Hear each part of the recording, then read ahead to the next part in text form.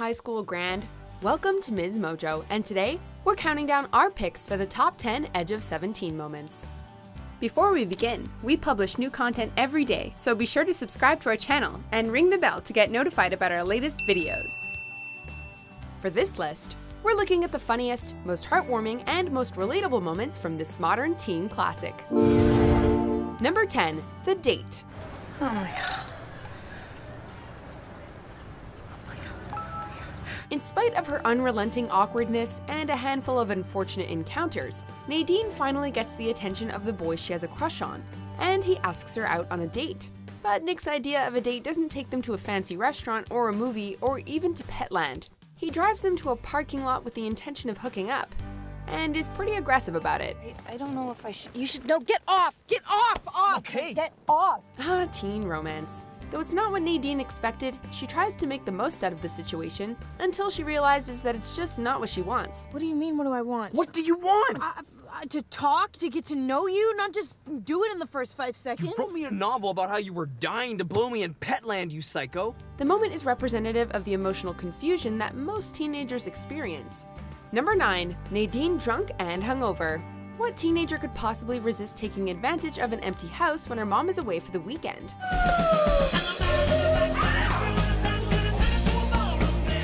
But after a fun night of partying with her best friend Krista, Nadine ends up in the bathroom hurling up her good time.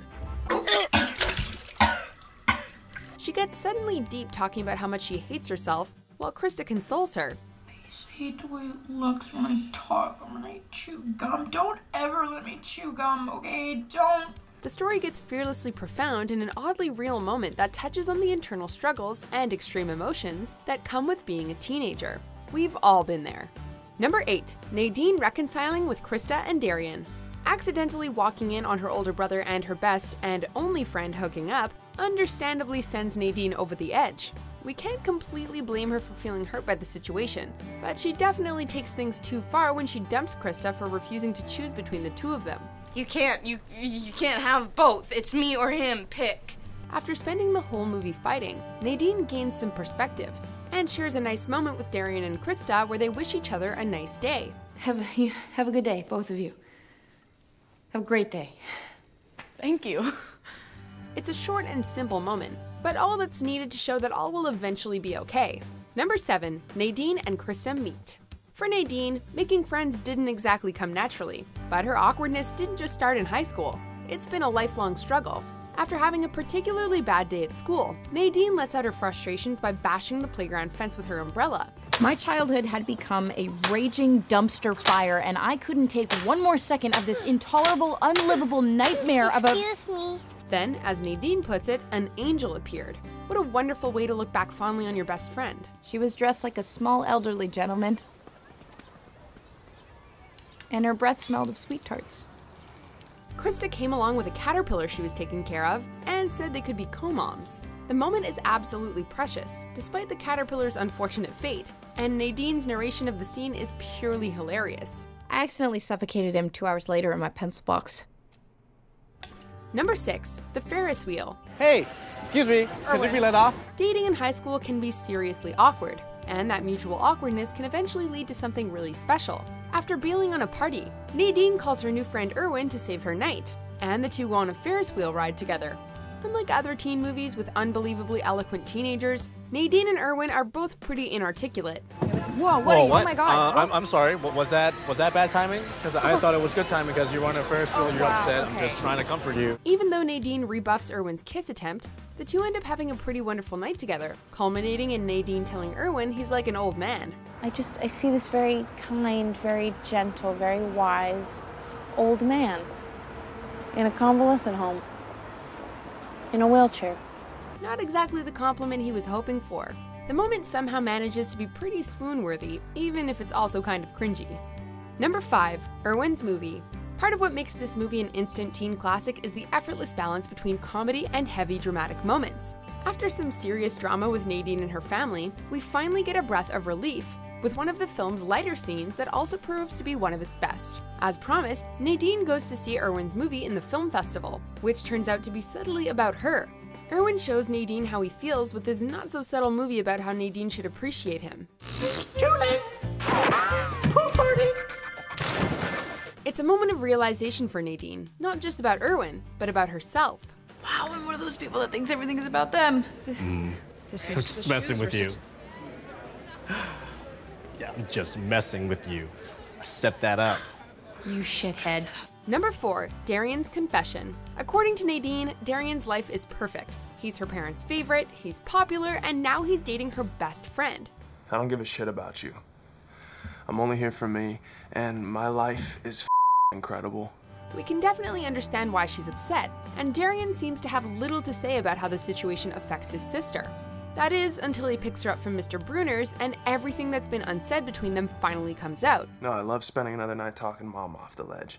I love only applying to schools nearby because who knows what'll happen in the house if I'm not around to fix it. Darian's confession about what his life is really like leads Nadine to her own confession, and the two see each other in a whole new light. I think some deranged part of me likes thinking I'm the only one with real problems. like, that makes me special. Gaining insight into each other's perspectives helps these two siblings see each other in a new way they never have before, and they're both better for it. Number 3, the pool scene. You're a dickhead, everybody's said. I hope you like the song, so screw you. You know that cliche scene in every teen movie where the two characters who obviously like each other find themselves in a normal situation that somehow turns sexual? Well, this isn't it. In fact, Nadine calls out the movie cliche and inadvertently messes with Erwin, who, for a moment, thinks she actually wants to have sex. Do you want to have sex right now? Okay. But Erwin ends up being a great sport about the whole thing. Any other teen movie would probably have the characters actually hook up during the scene, but this one is intent on playing against the trope, and instead the two have a completely platonic but equally touching evening in Erwin's pool, to a, let's say, interesting soundtrack. Dickhead, you're such a dickhead. and everybody knows it, everyone but you. You're a dickhead. Number 2, Lunch with Mr. Bruner.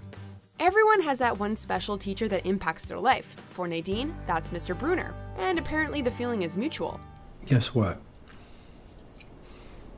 You're my favorite student.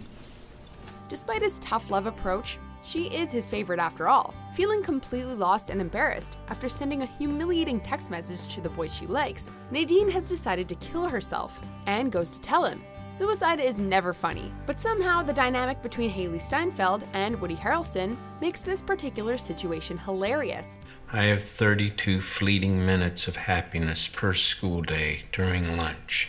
Their reactions as he reads the text message aloud make for one of the best parts of the movie. I want to feel you mm.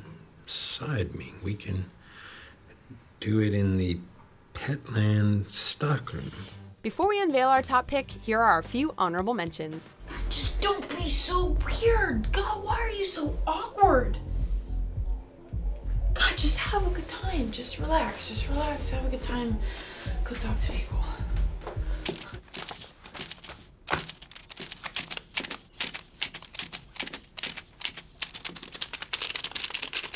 Can I have this whole punch? Give that to me.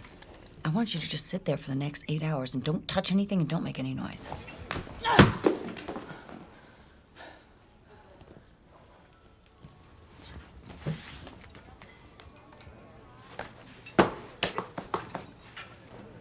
Let's go.